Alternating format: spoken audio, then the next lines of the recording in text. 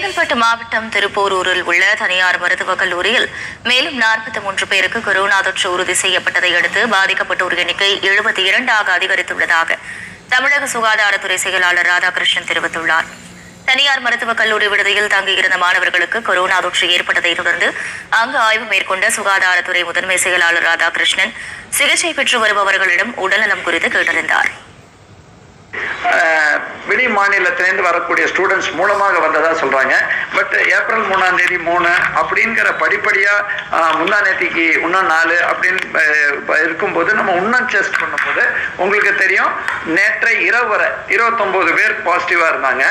அது இல்லாமல் நாற்பத்தஞ்சு சாம்பிளில் சிம்டமேட்டிக் பீப்புளில் நேற்றைய தினம் நானும் மன முதலமைச்சர் ஆணைக்கினங்க நான் அதுக்கப்புறம் நம்மளோட ராகுல்நாத் அவர்களும்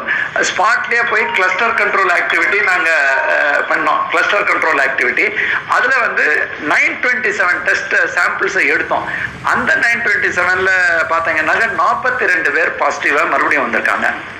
ஸோ ஆக மொத்தம்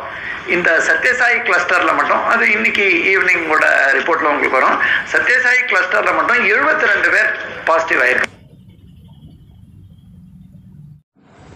செங்கல்பட்டு மாவட்டம் அம்மாபேட்டை ஸ்ரீ சத்யசாய் மருத்துவக் கல்லூரியில் தொள்ளாயிரத்திற்கும் மேற்பட்டோருக்கு கொரோனா பரிசோதனை மேற்கொள்ளப்பட்டதாக மருத்துவத்துறை செயலாளர் ராதாகிருஷ்ணன் தெரிவித்திருக்கிறார்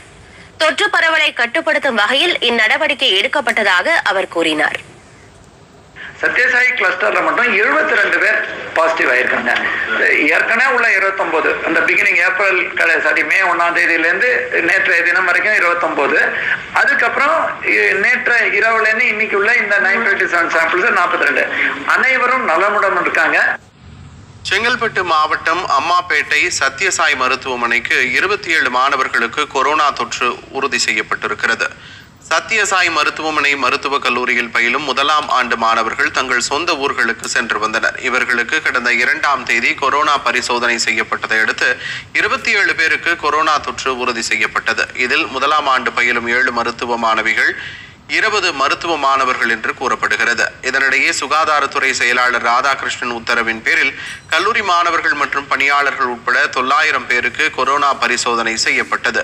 மாவட்ட வருவாய் அலுவலர் இமானுவேல் ராஜ் கொரோனா பரிசோதனை செய்யப்பட்ட இடங்களை பார்வையிட்டார் அதன் மாதிரிகளை சென்னை அரசு மருத்துவமனைக்கு அனுப்பி வைத்தனர் மாணவர்கள் அனைவரும் பனிரெண்டாம் தேதி வரை ஆன்லைன் வகுப்பு நடைபெற்று வருவது குறிப்பிடத்தக்கது